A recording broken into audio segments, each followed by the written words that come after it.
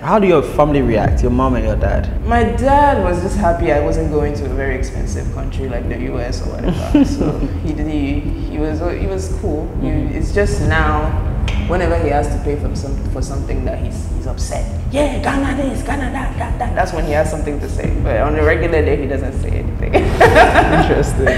it's when it comes to the money. That's when it comes to the money, that's when he starts screaming. But if it's not that, yeah, yeah, oh, 3.5 GPA, good job, my daughter. If you have an issue, say it. Like, be direct. Don't be to go to the corners asking me all this stuff. Then he starts asking me, uh, anyways, who are you talking? He said that. And I'm like, Hmm. First of all, we never got this vibe. Like I told you, we never had this vibe. Like you're pretty. We never had that vibe. So where is the disrespect coming from? Whenever like I do ads, for for example, I always pay back the person if they tell me, oh, I didn't get sales. No matter what, like even, even if like the video had 20,000 views, 8 8,000 views, 80 80,000 views or whatever, because I remember there's this particular one I went all out for this girl. Multiple posts, and it was like 80,000 views, 20,000, 50,000 views, and all that. She came back and said zero sales. And you give her money back? I gave her money back. Why would he do that? Because you you you go on social media and come and say stories like, about, about me. Hey, no, no, no. Mm. You take your money. It's okay. It's not that serious.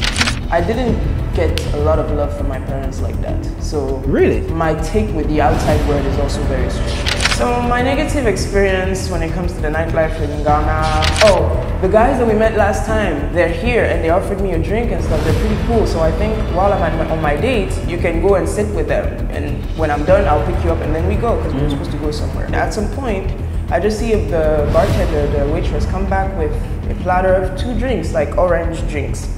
I, I didn't order anything, so I didn't even think it was for me. Then he puts it on the table in front of me. And then he's like, here. So I'm like, what's that? Oh, just orange juice. You say you don't want to drink, right? Say you don't want to drink, so here. Okay, no problem. Pick it up. I was about to drink it, but I taste, oh, orange juice. Okay, put it back on the table, go back to my conversation. The waitress came back, like another waitress, not the same one, another waitress came back and she's like, hi, somebody's calling you. I'm sorry, somebody's calling you. She kept saying, somebody's calling. I'm like, nah, I'm not interested. Because usually when that happens, that means a big boy somewhere sent the waitress to call you for your attention. I don't like that stuff. So I'm like, you know what?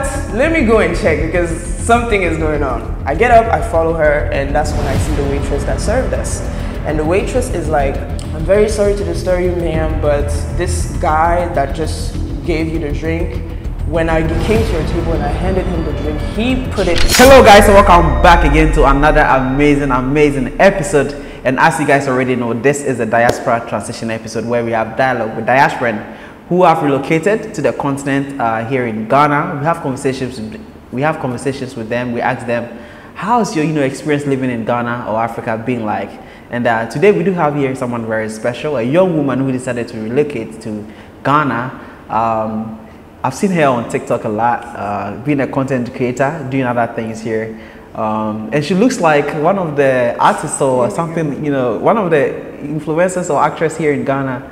So, you know, we're about to have a dialogue, you know, to ask her how she's been, you know, living in Ghana. And one, once upon a time, I saw on a TikTok that she almost was, is it poisoned or, you know, dragged when she was out and about having fun. Uh, so she's here today. She's here today to have a dialogue with us. So without further ado, Kita, welcome on the show. Is that should I call you that? Yes, yes, my name is Kita. Welcome on the show. Thank you. Nice to see to be here.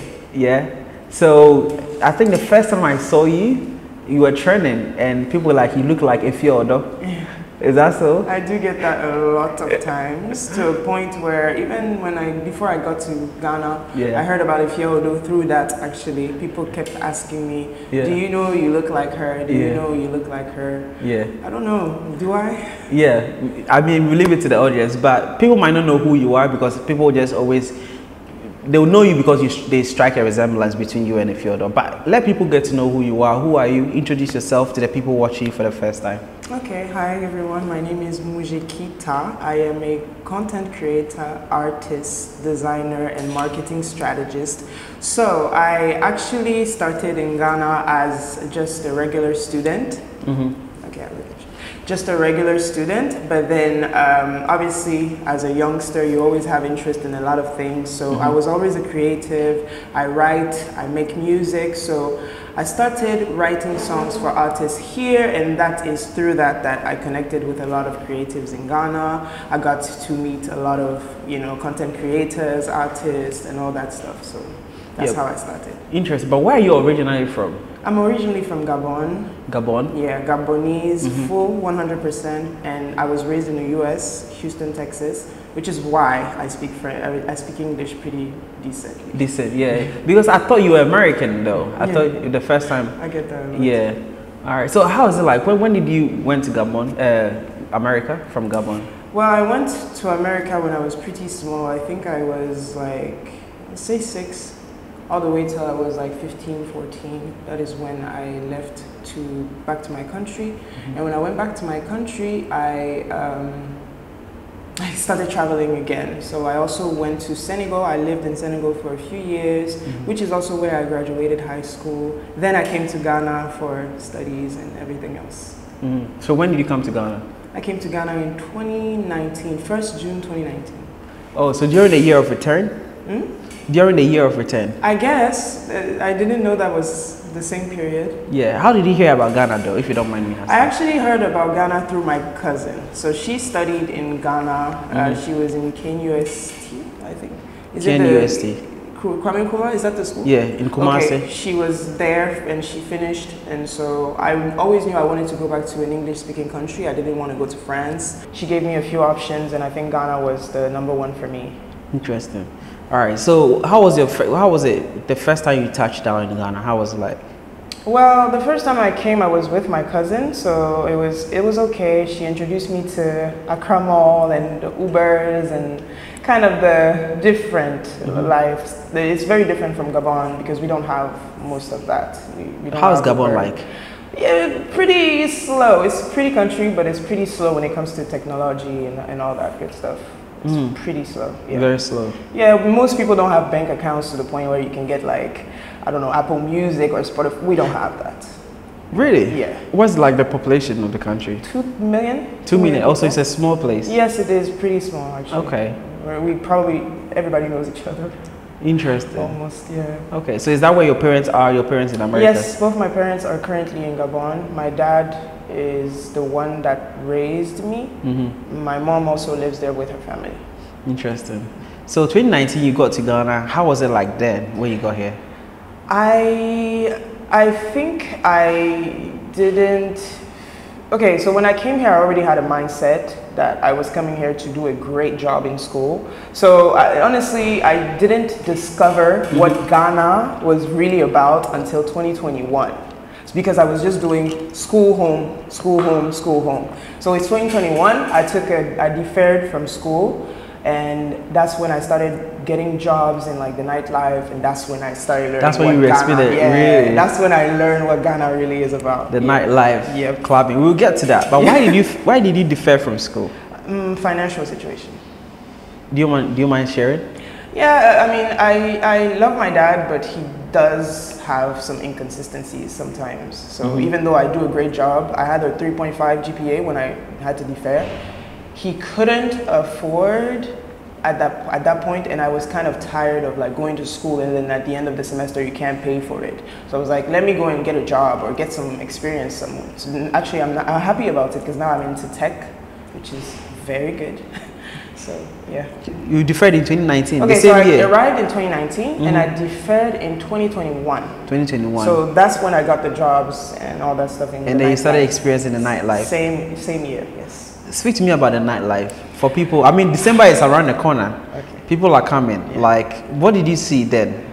I um, well, December in Ghana is uh, a totally different experience. I think December in Ghana is the best period for anyone that really wants to experience Mhm. Ghana, like what Ghana has to offer for foreigners, because that is when people line up events, like the best events for in December. That's when the crowd is here. That's when everything is fun in December because everybody's here. The financial is ready because most people prepare for December. So Mhm. the nightlife is interesting. I think in, before it used to be Afro Nation period, right? Is it the same name now?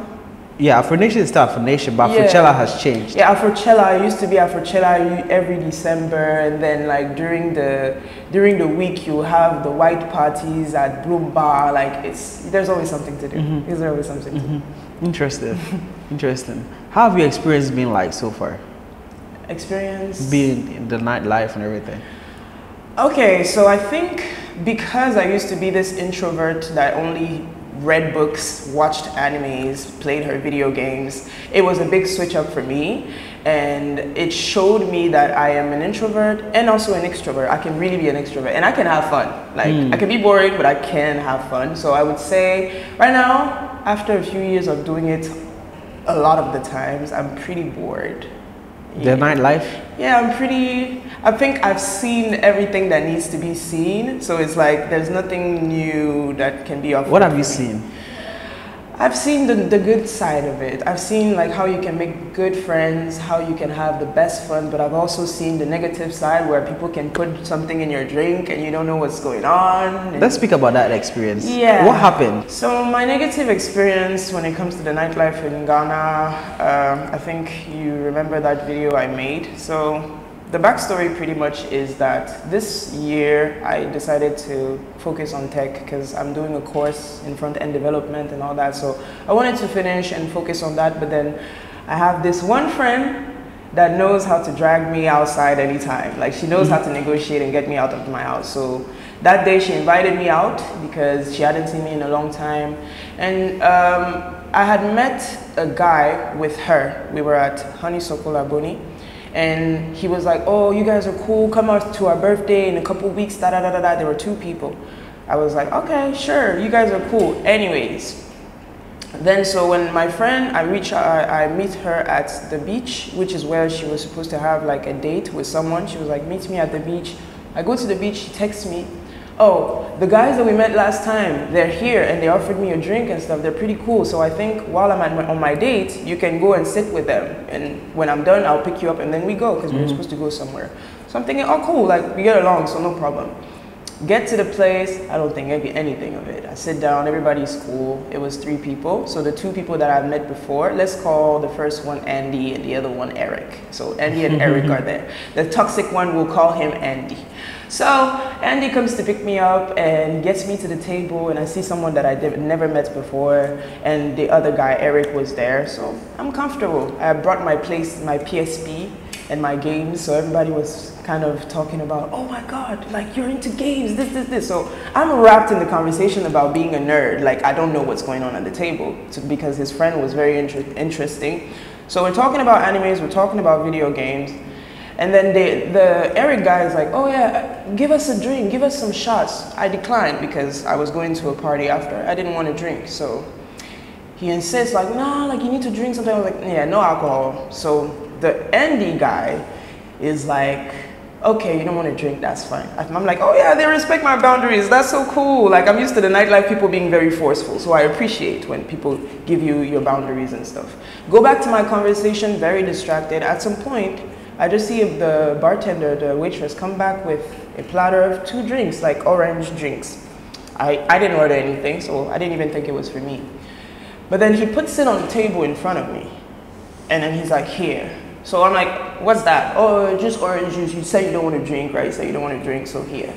Okay, no problem. Pick it up. I was about to drink it, but I taste, oh, orange juice. Okay, put it back on the table, go back to my conversation. At some point, I talk, I talk, I talk, and I pick up the drink again as, as if I'm about to drink. I didn't even have time to drink it. The waitress came back, like another waitress, not the same one, another waitress came back and she's like, Hi, somebody's calling you. I'm sorry, somebody's calling you. The thing with me is I'm not very self-aware a, a lot of the time, so I it took her a while for, for her to get me. She kept saying somebody's calling. I'm like, nah, I'm not interested. Because usually when that happens, that means a big boy somewhere sent the waitress to call you for your attention. I don't like that stuff. So she kept insisting on like, yeah, something is going on. And while she kept getting uh, insisting, the guy was getting upset. He was like, she said no, she said no, she said no. So I'm like, you know what? Let me go and check because something is going on. I get up, I follow her, and that's when I see the waitress that served us. And the waitress is like, um, I'm very sorry to disturb you, ma'am, but this guy that just gave you the drink, when I came to your table and I handed him the drink, he put it in his hand and then he put something out of his pocket. He put it in your drink and he gave it to you. I don't know what it is. I have no clue, but I have a bad feeling. And she was trembling and crying and like the, her whole reaction is what scared me off, if anything. So I didn't want to make a scene. So what I did in the moment, I was like, okay, let me get all the information that I need. So I asked them for consent if I could record what they said. The girl panicked. She was like, I don't want trouble, with this, this, this. The security guys came outside talking about it, like, nah, like, we need to do something about this guy. He can't be here. That's when the guy comes out, because I was taking a long time. So he came outside. Hey, what are you doing outside? Like, why are you taking so long? And he, he puts his hand over my shoulder like he's grabbing me back inside. I said, do not touch me. Don't you dare touch me. And I think that's the moment that he realized that I knew and everybody knew. So he ran away. So he ran away. So that's what happened. I went to my friend. I called my friend at, she was on uh, at Alora Beach. She came with her dates. They even went to see what was going on inside, but the guy had left at mm. some point. So I went back to say thank you to the ladies for saving me. You never know what would have happened, but that was quite a, a traumatizing experience. After going out for three years, that never happened to me. And the one time I go back and I'm pretty cool with someone, it happens to me. You never know. What do you think it was? Was it a poison, something to make you I think that yourself? this guy, I think that this guy is a serious drug addict. Mm. Well, that's what I think. Because even the first day we met, he kept talking about drugs. Like he kept talking about drugs, drugs, drugs, drugs, drugs. And I was like, I don't do all that stuff. Like I, I take my cute cocktail and I go home, you know. He was like, oh, okay. So I think that day he wanted me to try something that he does mm. without necessarily telling me. Mm. But his friends were like, were not okay with it because even his friends now they're falling off. And actually, he's left Ghana. He left. Yes, he did. Interesting. He's left. Oh, so you still you still keep an eye on him? No, no, no. Because when the incident happened, like everybody was calling everybody his friend the other one because they didn't want to be associated with that. Like they knew that by the moment i knew what happened with the guy i was going to put them all in it. So they cleared themselves first. They reached mm. out to me and they told me like nah like we even went to talk to his dad. Apparently his dad is like some serious you know these arab guys arab dads that don't play? Like mm. apparently his dad is like that. So they brought him to his dad. He got a beating and his dad sent him back to his country. Interesting. What country is that I think he's, he told me that he was from Cyprus. That's what he told me. Okay. That he was well, this is a white guy. Yeah. These are some Lebanese, you know, the Lebanese guys oh, that yeah. stay in Ghana and stuff. Mm-hmm. They were at Honeysuckle. They said hi. Oh, you're invited to my birthday. That's. Oh, yeah. Like because them. I'm curious. Is it like just foreigners or Ghanaians? You've had experience with Ghanaians I've themselves? I've never had experience like that with Ghanaians or Nigerians. I meet a lot of foreigners here. A lot of my friends are foreigners, actually. A lot of them, but I've never had that experience. Some of them, most of them are even from the US, the UK. Never, never. had that experience. So this is actually very strange that it's coming from someone that I, you know, I wouldn't even expect it to come from. Interesting. From him. Interesting. Yeah. But you said you also had positive experiences in the nightlife. What are some of the things you look? You're a young woman. You're pretty. Yes. Um, obviously, men out there would like to get your attention. How is the nightlife? Paint a picture of you having a great time how are people reacting to you in Accra, Ghana?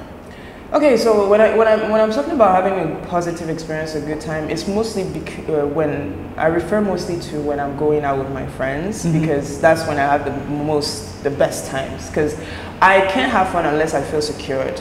And usually I feel secure when I'm surrounded by my people. Because, for example, whenever I go out with my friends, I know I don't have to look behind my back. That's so you feel relaxed. in my drink. Yeah, but in Ghana in general, anywhere you go, you meet somebody that's cool. And especially now that I create content, I receive such praise every time I go somewhere. People are like, oh yeah, I love your content. Just last week, Saturday or Sunday, mm-hmm. I went to Garage very quickly to say hi to my friend.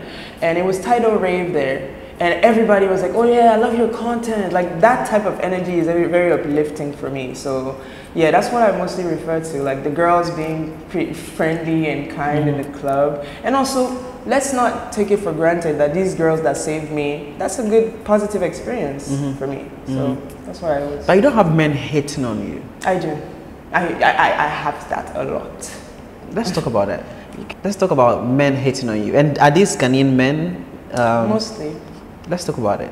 So the thing with me that most people do appreciate and most don't is that I am very strict with my boundaries. I used to be that people pleaser person that would give out money to be friends with people, that would, you know, violate her own boundaries just to be friends with people and all that. And I had to check myself because things kept happening to me and my sister just guided me like, this is not it. You need to have boundaries. You need to self, you know, being a good person is, is not about just saying yes, yes, yes, yes, yes. Because then you'll meet people that will actually go out of their way to make your life hell. So my issue with men usually is that either they think they can touch me without asking, without my consent, because maybe I dressed nice or whatever. That's usually what I get in the clubs, especially. Or they will move to me, and if I don't reciprocate, or if I'm friendly, or if I politely decline, it turns into like disrespect.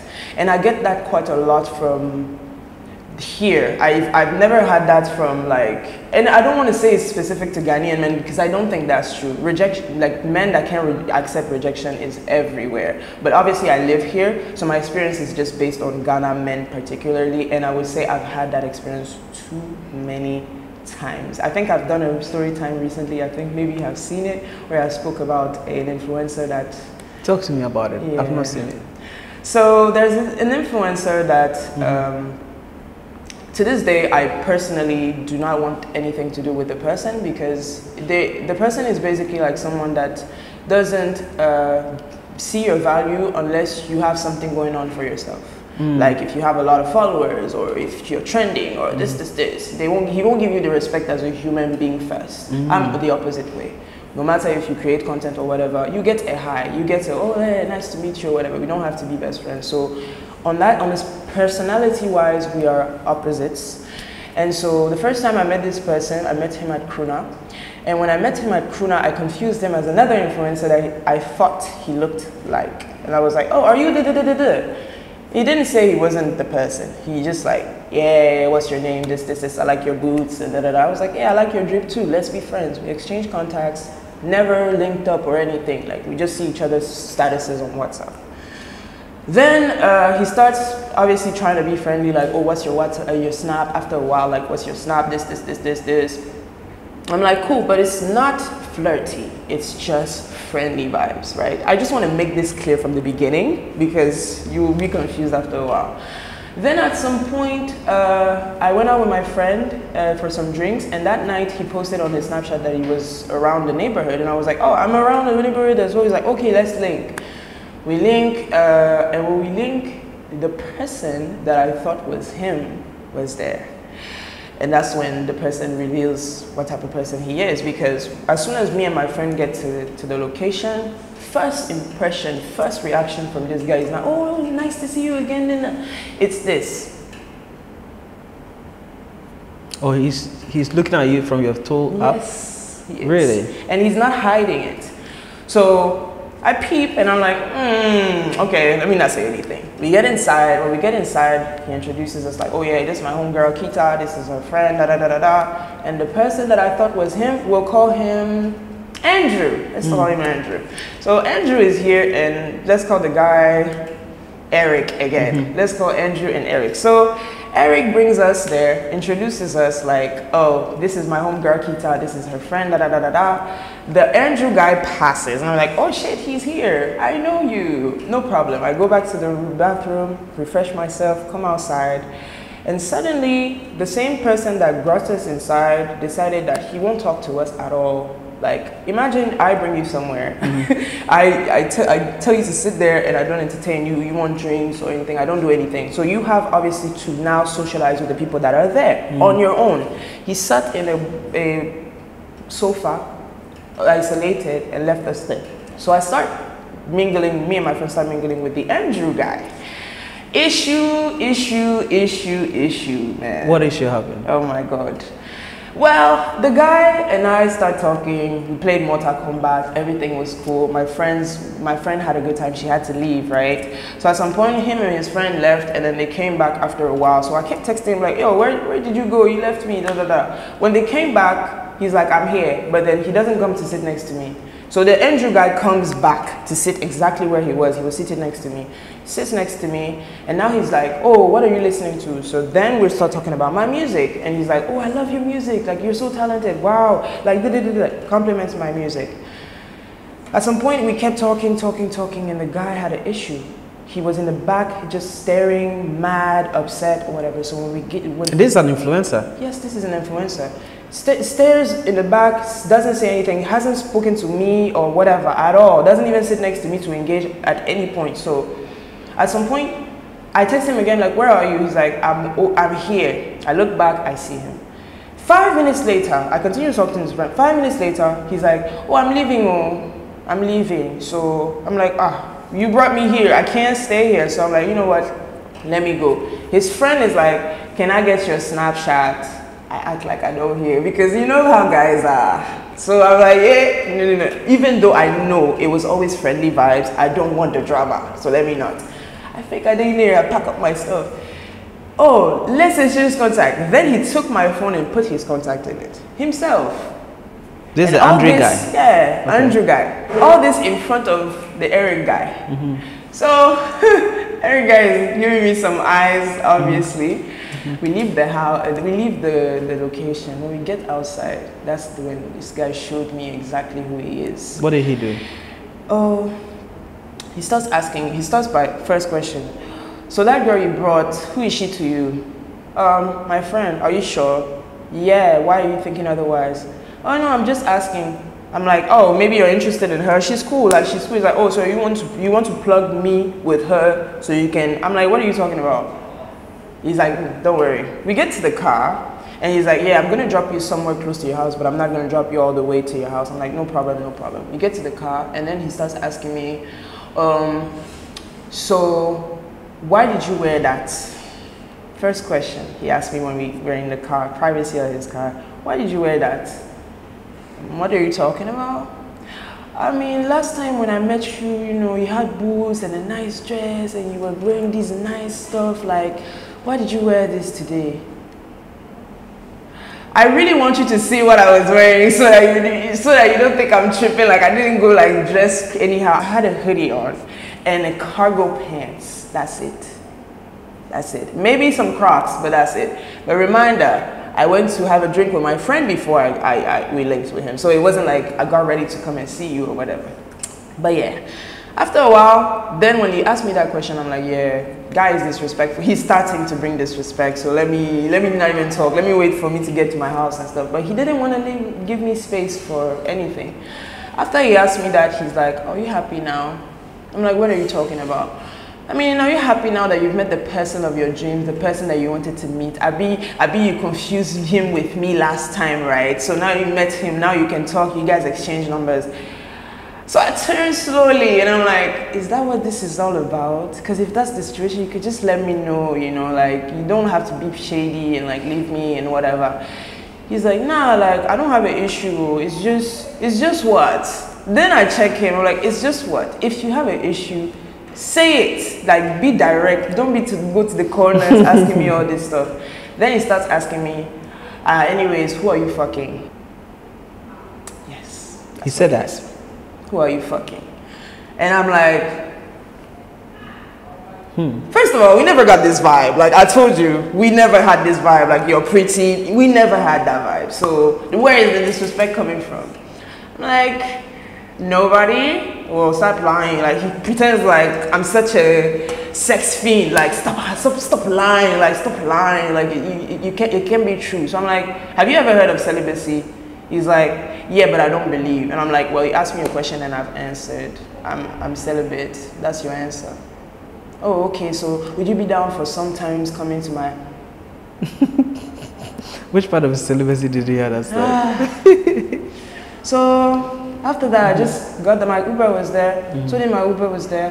Got down my the car, went home, and blocked the number. Mm. But guess what? I forgot my AirPods In his car.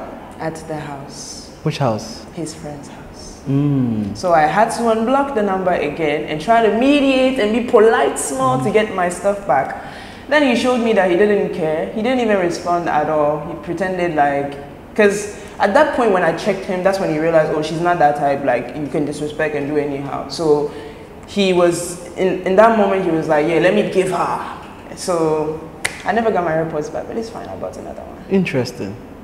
This very and this is an influencer. This is So like- the oh, Eric- very popular influencer. The Eric is an influencer and the Andrew is also an influencer.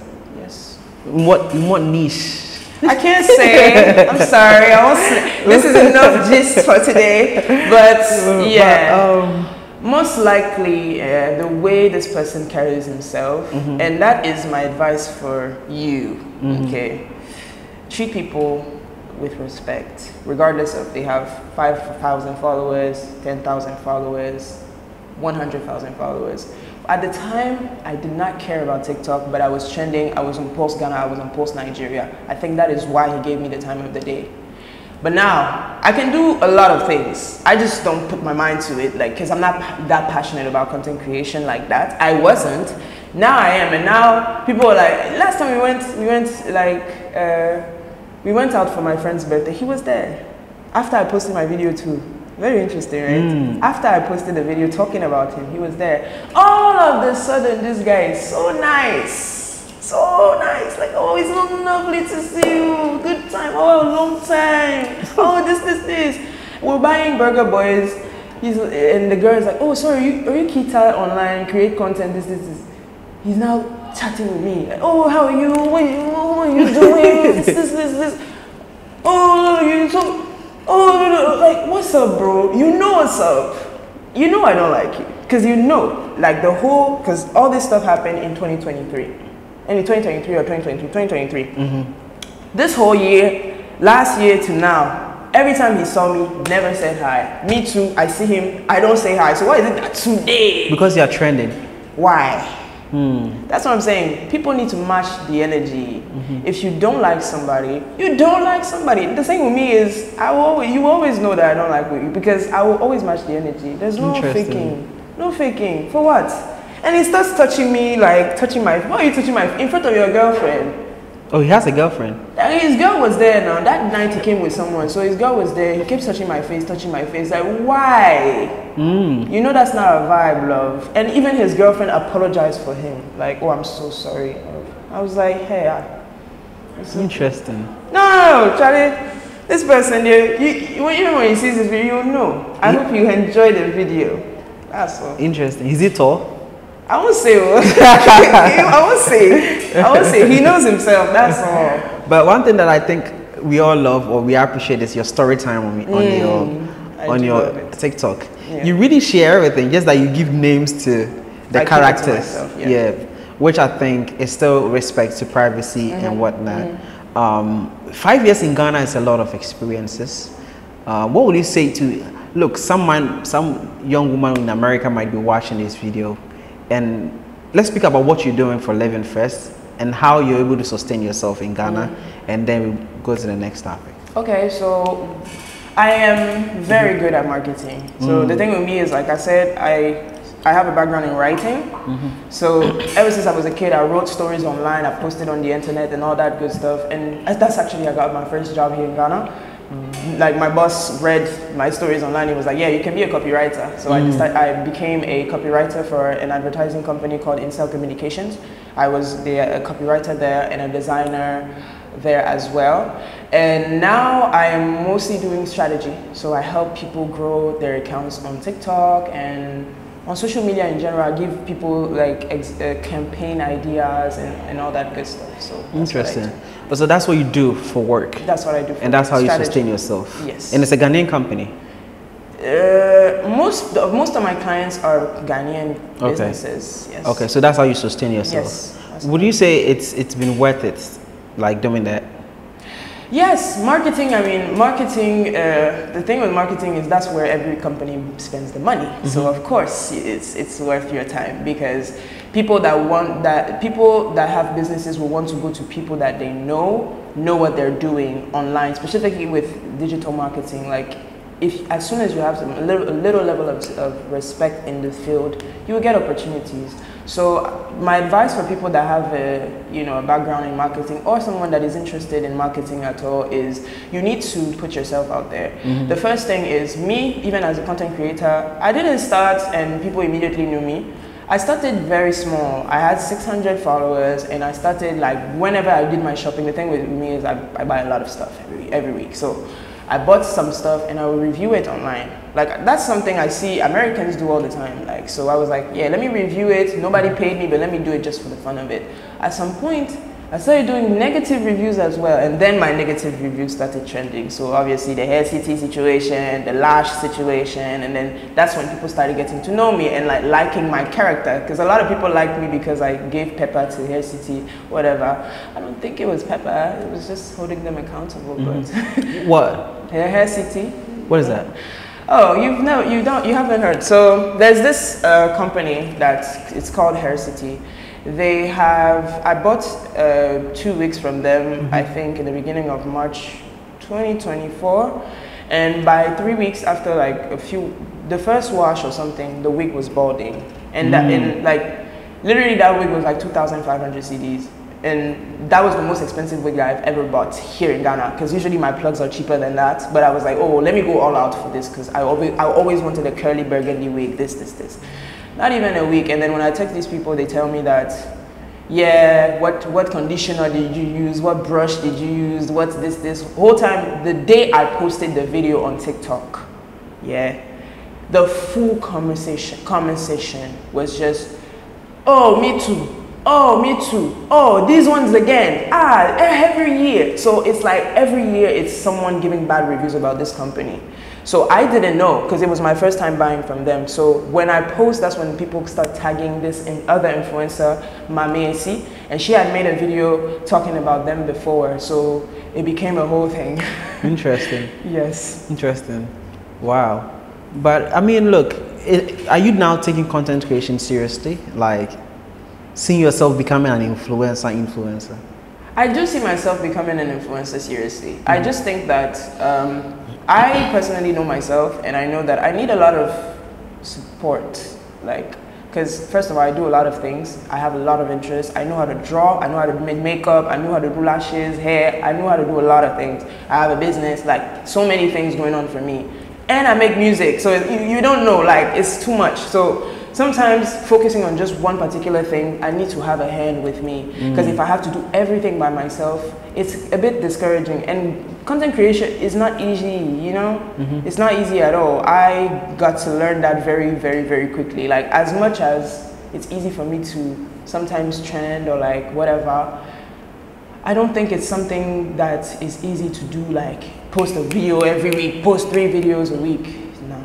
Mm-hmm. You need you need to have a team, you need to have someone behind you, at least a manager that is there to uplift you like, oh, don't be discouraged, this is good, this is fine, you need to do this, plug you with the right people, the right agencies. Sometimes I see these influencers in Ghana getting in these opportunities. I have no clue how to get that.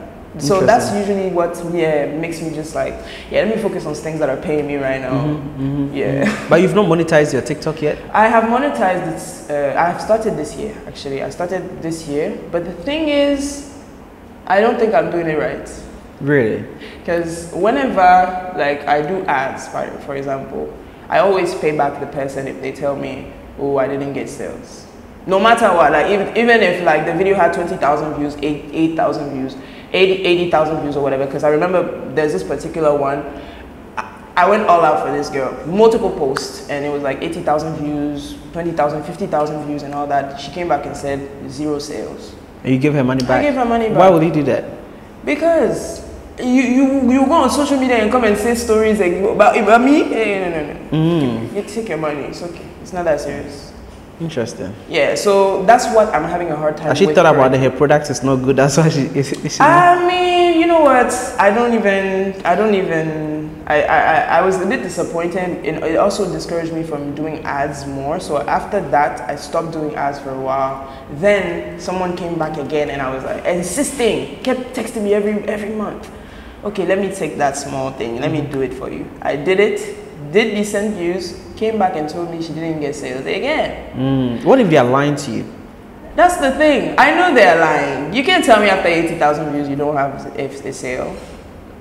Really? Mm-hmm. I mean, hey, if that's the case, I feel you take your money, but I know. It's just like, it's not that, that's, that's really why I'm paying them back. It's not that deep for me it's not that deep for me. I don't want you to now say see me on the internet and think, oh, I gave this girl my, my money and this this. I don't I don't want mm. the hmm. energy. Because you want your name. I want my clean. name okay. I want my peace of mind. I mm. don't hmm. want to feel when I go to sleep that I fe- I did somebody wrong or they feel like I did somebody wrong mm. or hmm. whatever. Because all these businesses, to be honest, my mistake was I was taking these small businesses that wanted you know visibility. That's the ones that I was accepting and whatever. So I think that's why they were, they had their expectations all the way there, and so, I mean, hey, even with even with a heads up like, hey, if you don't get sales, just remember my responsibility as a content creator is to record, edit, post. It's visibility, not sales. I have, I have made it clear every single time, and they still do it. So right now I'm on my break. I'm focusing on what's paying me. Yeah. Interesting. Yeah. I'm sure I'm sure so many people will reach out to you for Hopefully. collaborations. But one thing I want to be able to paint a picture. If people are watching you, right, seeing your life on TikTok, Instagram, living your best life in Ghana, how do they react to you? People from Gabon most especially. And then we address your American maybe friends and whatnot. Okay, the thing with Gabon is I am not very attached to the Gabonese media like that. I don't even consume Gabonese media like let's say TikTok from Gabon. I don't consume it. So I don't think a lot of people know me. Apart from that one video from Pulse Ghana when I was talking about how Gabonese people re do remixes of Ghanaian music and stuff because that one did good. Uh, the blogs in Gabon posted that video. And then the, the, the, the energy was quite negative, but it's, it's okay. It's mm. okay. So mm. regarding Gabon, I don't know what they think of me, but the US, my friends from the US or whatever, they're very proud. They're very they were very interested in visiting. I convinced my brother to visit through that actually last year. He came, he enjoyed Ghana, he thinks of coming back. So a lot of people are surprised whenever I talk about my experience in Ghana. Most people, honestly, specifically Gabonese people, we have this negative views of majority of West Africa and it's mostly due to ignorance. I'm not gonna lie to you because like for example senegal before i even went to senegal like the view that gabonese people have of senegal is like oh it's worse than gabon. Like because basically senegalese people usually have like small boutiques. They're the ones that mm-hmm. have small boutiques where you can buy groceries from in gabon. So our mindset in gabon is like oh since in our country they live like this that means that when i went there i saw the real real real real truth. It's not like that. So yeah i think the problem with gabonese people is we need to go out. We need mm-hmm. to go out more mm. because the mentality there. It's not there. Yeah. How do your family react? Your mom and your dad. My I'm not very close to my mother, but my dad. My dad was just happy I wasn't going to a very expensive country like the U.S. or whatever. so he did. He, he was he was cool. Mm-hmm. It's just now whenever he has to pay for some for something that he's he's upset. Yeah, Ghana this, Ghana that, that, that. That's when he has something to say. But on a regular day, he doesn't say anything. Interesting. It's when it comes to the money. when it comes to the money, that's when he starts screaming. But if it's mm. not that, yeah, mm. yeah. Oh, 3.5 GPA, good job, my daughter. Mm. That, that's all. Interesting. You've been here for five years. Have you dated a Ghanaian man before? Not officially. Not officially. What does that mean? So the thing with me is I was celibate for a very long time. I actually lost my V card last year. Hmm? Yeah. I was celibate for a very, very long time. I always was that kid that was an introvert, likes anime, like the complete nerd that never got into boys. Let's speak about that. Okay, let's speak about that. Like you, you are a nerd. Yeah. You have a PSP. I do. I have a PSP. I have a 3DS, uh, the normal one, and I have the new 3DS. I'm getting a PS4 very soon. Too. Why? I mean, the thing with me is I grew up with boys, so it doesn't it's it doesn't feel strange for me when a girl likes video games. And I draw very well. Like this is my universe. The the 3D 2D world is, is me. Like this is what I've been doing since I was a kid. So mm-hmm. and and the, the reason why I even asked that, you said you've been celibate for a long time, right? Yeah. And you broke your virginity last, last year, year, 2023. Yeah so you um, came to Ghana? 29th October 2023. Yeah, that's that's so much details, but I remember. you remember it. of course. And it happened in Ghana. Five years. Yeah. It happened in Ghana. Yeah, of course, no. I'm here. Interesting. So you came to Ghana as a virgin. Yeah, I did. How old are you now? 26. I turned 26, 26. in September. Interesting. You're shocked.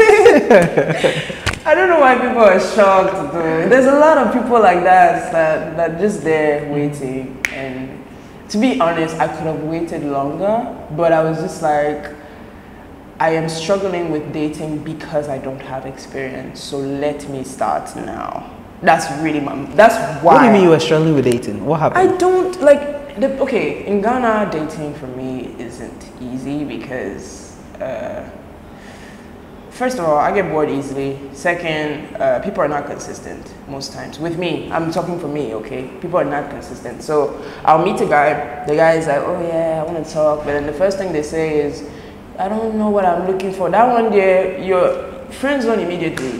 The thing with me is I don't waste time. Like you tell me that stuff, you're not serious on the mm-hmm. side. Mm-hmm. So a lot of people say that they never want anything serious or like they they are still thinking about what they want in their life. To meet you, I'm in the same way. So where do we go from here? Because you can't touch me and come and say the same thing. Why, what, what are we talking about? You know.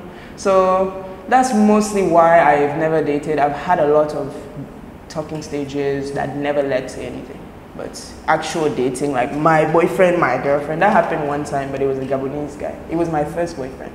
So even this situation wasn't a boyfriend situation. That, That year it was in one month. wow. It was one month. Like the guy kept like trying to be physical. I'm like, yeah, you're not trying to be my real boyfriend. You're just trying to get into my pants, you know. So I, I sent him to the like, ah, it's okay. You don't regret giving the thing out? Oh no, No. that, and, and that one was a very serious person, honestly. Really? Yeah. Even when I met the person, like I was like, you have potential, but I didn't say it to the person. Obviously, I was just in my mind like, mm, okay. Interesting. What when if people look at you on TikTok, what is what do you think the impression? What impression do you think they have of you? They definitely think that I'm these baddies that's like nice body, dance, and can dress up and like a lot of the thing with me is like I've noticed on my TikTok I always get these comments that try to claim that I'm a ashao or like easy easy girls and whatever because as soon as you put, you wear nails and you, you can take care of yourself in this Ghana there the mentality just direct goes directly that oh it's a man that's entertaining you. I wish I wish that that was the case, man. And I've been struggling this whole time, and you want to tell me that it's a man that anytime I look nice outside, it's, it's a man. Ah, wow. I wish. I, think your experience with Ghana has been bittersweet. It's it's fun, but it's it, it, I struggle because of my personality. Mm. Like I am strict. You have no idea. Mm. I am so strict. On a scale of one to ten, how strict are you? Nine. Nine. You're uptight, Yeah. isn't? Is that helping you? That's the thing. I'm checking myself sometimes. Like whenever I have issues with people, I check myself. I'm not the type of person that doesn't take criticism. That's one. That one day, anybody can talk to me. Even me, I will harass you. Do you think? Do you think I'm like? Do you? So, I think that my situation is just that when I feel like you don't value me enough to give me the benefit of the doubt or to give me the respect that I deserve from the beginning, I don't have to say anything. You don't give me that from jump. We have nothing to talk about. Simple. Mm. Where did you Because get these principles from? Certainly. Huh? Where did you get these principles from? My mother, I didn't get a lot of love from my parents like that. So Really? my take with the outside world is also very strict. You understand? You didn't get a lot of love from your parents. I mean, I was mostly raised by my dad's sisters and brothers. He did. He himself didn't really. He's now, now, now that he's now here. But Trying to be in your life. yeah, What my happened? parents weren't really.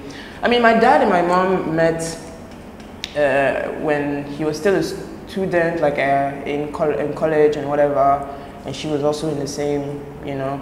So I was the first child, like for both my parents, and they never got married actually. So both of them got married with different people, made their lives, and Mm. you know, I'm the kid that's like Interesting. I was the that trou- make you feel? troubled, not the troubled kid. I would say the black sheep.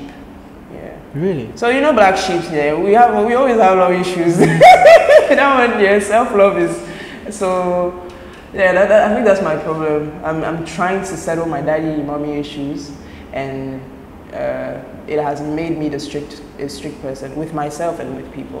Hmm. With myself and with people. But one thing about me is I value people. Like I value friendships. I value people that show me like if you hey, if you show me you love me, yeah, I'll go all out for you. But Interesting. if you're like this, I mean I won't mind you. Mm. We have nothing to talk about. There's nothing to negotiate, literally. I like that. Let's speak about Ghana a little bit. Ghana, okay. Um, five years. hmm How's living like? Um, people dealing with you day to day basis. Um, even cost of living. Are you affording to live in Ghana? What's the downside? What's the upside? Would you recommend to somebody? Ghana was is the situation in Ghana is unfortunate to me because when I came to Ghana, I remember at the time like you know people had so much good things to say about the government. People had so much good things to say about the government, and like at the time, like what's it called? My currency was very close to the currency with Ghana actually. Like let's say 1,000 CDs was basically equivalent to 1,000 CDs in my country. Now, if they send me 1,000 CDs in my currency, I get like 4K or 5K. Now, 1,000, your currency is 4,000 CDs right now. And this is Gabon. So, meaning like your currency is even bigger than Ghana right now. Uh, yeah. Interesting. And it's, it is sad. I mean, it's good for people that have access to foreign currency currently in Ghana. I mean, that's the people that are pretty much thriving. But I was that person that was paid in Ghana cedis and that had to struggle in because I didn't get help from my dad and whatever. So I know what Ghanaians are feeling currently. So seeing the situation in, in Ghana right now is it saddens me. And which is why I'm mostly like promoting a lot of these remote, remote works and like how like a lot of my friends I push them to get into tech because I got into tech for that particular reason. I was like, in this life, me suffering again after a childhood like mine, nah, I'm not having it. So How's your experience been like in tech? Tech is, I wish I started earlier, you know, but uh, I'm enjoying it. I'm still finishing my course right now, but in the next, I already have like li- internships lined up. I already know what I want to do. I already know where I'm going. So, you know, it's, it's easy because of that, because I prepared myself before I even got into it. I even self-taught myself co- like a, a- a few Coding? languages, yeah, coding languages by myself before even starting the course. So it's it's a breeze. Mhm. It's, it's, it's good. Mhm. We'll see now when whenever I have that certificate, we'll see how it works in Ghana now, so I can actually know what tech the, the tech world in Ghana is like. Because I'm really curious. We'll Mhm. see. Mm. Would you have ever imagined your life like how it is? No, No. Why not? I've I'm not used to good things. I've mentioned this on my TikTok as well. I'm not used to good things. I, You're I, not used to good things. Um, I'm used to being overlooked. I'm used to, I told you, my parents. All this it's all based on that. Like I'm used to being overlooked. I'm used to having to settle, make myself smaller. TikTok came like that. People like me because of me. People don't, you know, I don't need to do much. People see me in town now. They talk to me. They're happy to see me. They want pictures. They want whatever. Like I never imagined this to be me at any point. Even me being an artist, like when I'll make you listen to my music after, you will tell me, but even me when I'm, I'm in studio sessions with some producers from Ghana or whatever, and they tell me, oh, you have talent, oh, this one there, if you put it out, this, this, this, this. I have imposter sy- syndrome because, again, I'm not used to uh, good things happening to me. That's that's sad. Sad. Yeah. I know, I'm working on it. I'll be fine in two Mm. years. hmm I feel like even my upbringing, I, I was a black sheep a little bit. So I get I get what you mean, but it's it's quite sad.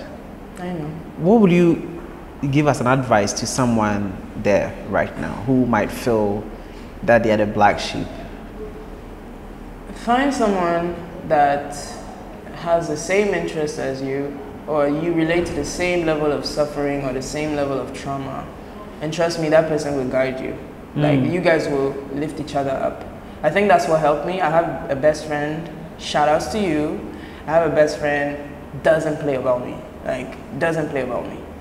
She and I, anytime I have anything going on, I call her. She gives me advice in life. She gives me advice with boys. She gives me advice even with business. Even today, she gave me advice like every day. Like find someone that, that has the patience. And trust me, when you complain about your stuff and you're hearing people give feedback, like, oh, she's always complaining. They're not for you.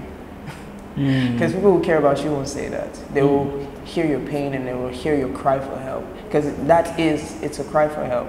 So find people that you relate to and walk with them. Because if you feel like the people that you're surrounded by when you're suffering or you're going through things, they're just complaining about the fact that you keep complaining, it should tell you what you need to know. You know, you're, this is not your people. Hmm. That's all. Have you been depressed before? Oof, ah, this is a habitual issue for me, man. but hey, you know, when you when you're a happy kid, you have to be depressed sometimes. You can be happy, happy, happy every day now. Hmm. you can be happy, happy every day. So I do get my days where I I deactivate my oh that one day my, my Instagram followers. Before I deleted this account, they suffered. Kita, we are missing you. I come back, hey, hey, hey, and then I deactivate after two weeks because I'm tired. It gives you anxiety? Yes. It, it used to give me anxiety.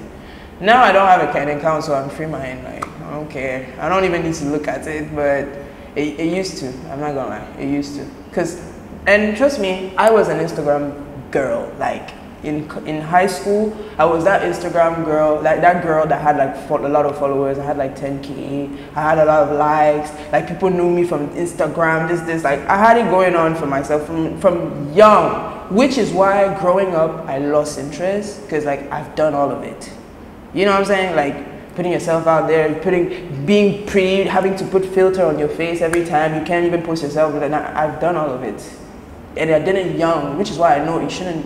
It's not good for young girls because it really, it really messes up with your self-esteem. Let's talk about it. Yeah, it, it messes up with your self-esteem. It's like the whole Snapchat stuff. I remember, I remember the days I used to need a, a, a Snapchat filter before posting a video. Even sometimes I see people post on TikTok and it's always filter, filter. I'm like, yeah, you're not there yet.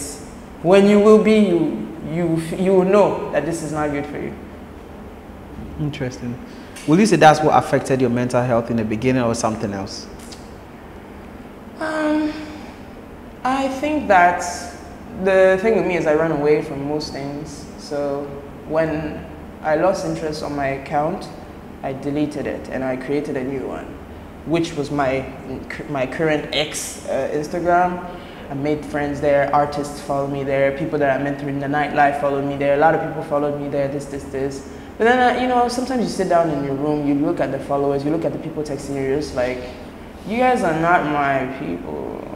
Like, what is the goal of this? You know what I'm saying? Like, I'm just somebody that's, I'm genuine. Like, I don't know, TikTok, Instagram is too filtered and too, yeah, it's not my vibe no more. You want to be real. I want to be real. Like, even the content that, right now, I'm, I'm contemplating putting, putting content on Instagram now, but real, real now, I really want to start switching my content to just real stuff, like reels talking about things, reels that people can relate What to. do you wish you talk about that is making you you are thinking about? Hmm? What is what do you wish you would comfortably talk about that you are not talking about now? Say it. Um, I don't know. Wait, something to talk about that I that I'm hesitant to talk about right now. Yeah. In terms of posting on your TikTok, your Instagram, about being real. You say you want to be real. Instagram Yeah. is not real. Mm-hmm. What Well, do you wish? What I wish to post on Instagram Mhm. specifically, Mhm. or on TikTok. Whatever. Honestly, yeah, I just wish I I want to get to a point in with TikTok and content creation in general where I can post whatever. Like I don't need to calculate.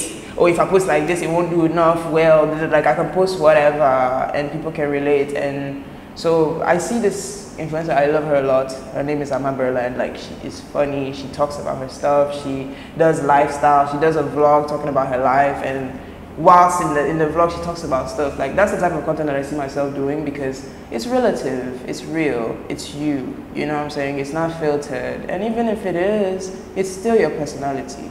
I want to, I want my, my TikToks to be about my personality, which is why now I'm like. I think I should stop the story times and the gisting because people are following me too much for gist now, you know? let me stop now. Let me let me slow down with the gist. You guys like gist too much, but mm. do you have a YouTube channel? I do actually, yeah. Do you post the just there too, or the no, vlogs? my TikTok, my content on on YouTube is very different from Mhm. my my content on YouTube is uh, what I've always wanted to post, um, which is uh, anything related to nerd things. So K-pop, K-drama, K-movies, uh, Japanese stuff, uh, you know, stuff like that. Like Mhm. that's What's really your what YouTube want channel? to do. Mujekita. No, no, no, Kitamentary. I'll send it to you later. Okay, interesting. If you have a, a, a message, you know, to the people watching you right now, what would that message be? A It could be your message. fans, your crush, your family, your friends, whatever. Um, actually, first message will be for my siblings. Yeah, I am very protective of my siblings because of my trauma and stuff. So, um, you know, shout outs to you guys. You motivate me every day to, Mhm. you know, get, try my best to do better and become a better person and do better. So, like, I'm in a position to help as much as I can. Mhm. The second message will be for myself. Myself, because I never thought I was going to be getting an invitation to talk about my life and it would interest anybody ever in this life. And if you can do that in five years, not even five, because I've started content creation two years ago. So if Mhm. you can do that in two years, Kita, take music seriously because maybe that's your goal. So, last one would be for girls that are suffering from trauma. Mm. It's okay to cry. It's okay to cry. It's okay to complain. It's okay to process.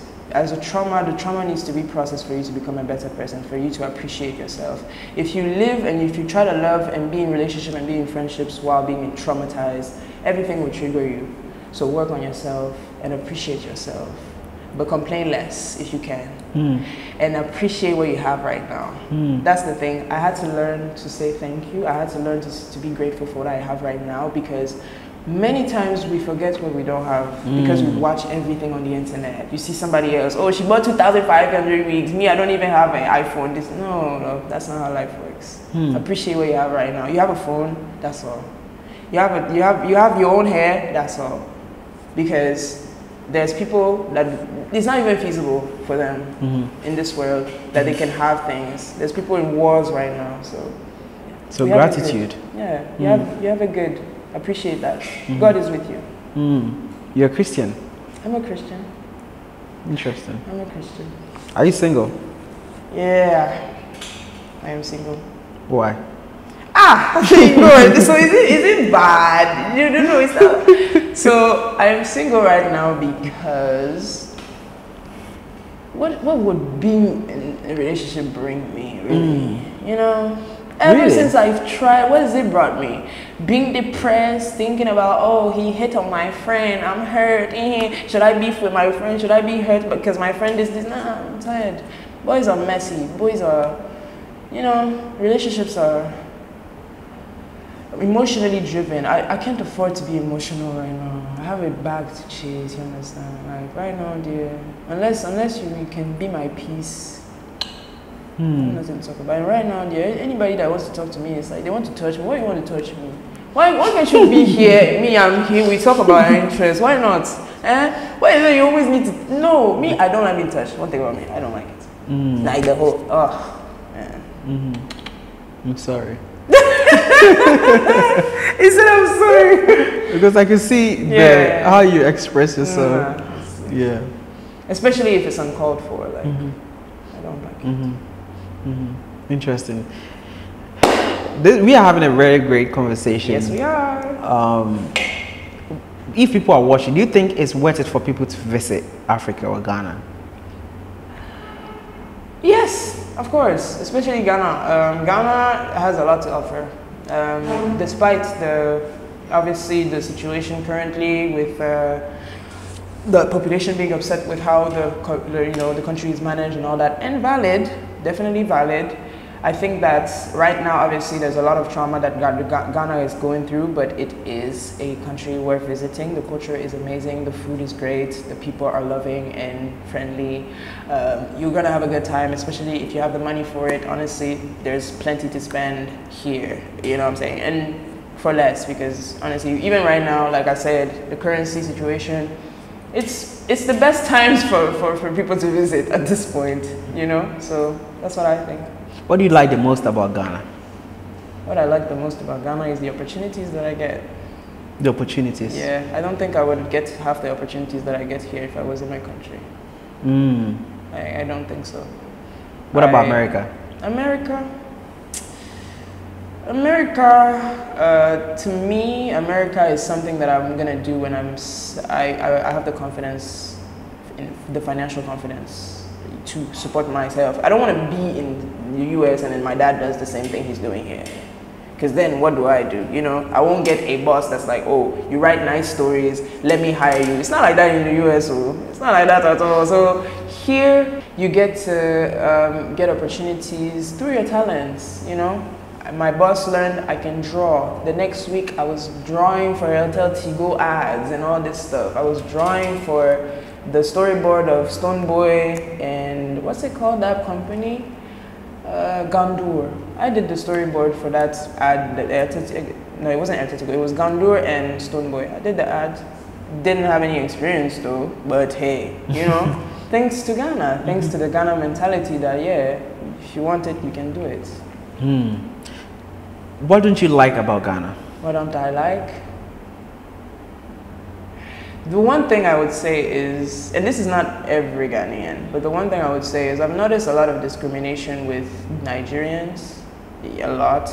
So that's one thing that I, that's the first thing I would mention actually, because a, a lot, you know, anytime I've gotten a negative something about Nigeria, it's always like a Ghanaian person saying it. You know what I'm saying? So that's the first thing I would say. I'm not really a fan of it. I, I don't like anybody discriminating anything. Even my dad, when he says stuff about Ghana, I check him like, you know.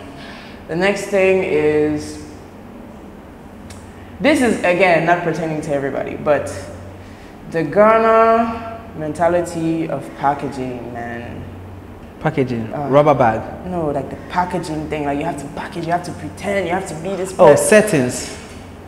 Is that what you mean? Yeah, Okay. settings. Ghana has a lot of that. Really? What do you like about settings? Yeah, like, it's unnecessary to me, you know. I, like again, through this interview, you can tell I'm somebody that's you, you get to me how you, you see me. You get like, nah. Here it's like you need to dress like this. If you dress like this, you can do this. If you if you oh no, this like ah. It doesn't stress y'all, like it doesn't stress you to, to be doing all that for what? And the same people that you're packaging for are the same people that are not even worth it. They're not even worth it. They are pretending themselves. they're, they're, they're sharing the same car, coming outside, but you're, you're here pretending for what? Ah, Charlie, go get your money up. That's what you need to do. Packaging and settings is, is nonsense. Hmm. Be yourself. Hmm. And if you know you're not like that, own it and go work on it. If you want to become this person that you're pretending to be, go and be it. Why can't you do it? Mhm. Simple. Hmm. That's what I'm not a fan of. Hmm. I don't like that people are pretending to be what they're not. Interesting. You know? hmm hmm I like that. Excusez-moi. Oh, nice French.